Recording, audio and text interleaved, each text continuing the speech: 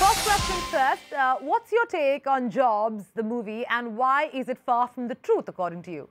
Yeah, I hope the latest Jobs movie would really bring out what was inside of Steve Jobs. What was his personality really like? What kind of discussions did he have with other people? And what were the reasons for his decisions, his reasons for excluding people? And I thought that the movie was very weak on bringing out the things that you love and hate about Steve Jobs and really pinpointing where did he come up with the brilliance that we thank him for the wonderful changes in our lives and where did they really come from?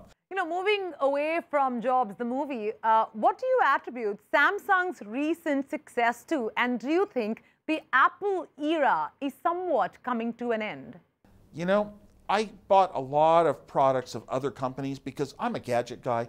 I like to explore. I like to play with them. Sure. I like to compare with them. Then I know it's real when I say this is good or that's bad. I know it's real to me and my own feelings. And when I got the Samsung Galaxy S3 phone and the Galaxy Note, these products were really good because I had lots of things I could show my friends that were actually outstanding and good and useful about them. And I'm scratching my head because I'm an iPhone person. Um, so Samsung, you know, has an awful lot of prowess and understanding of what it takes to make good products.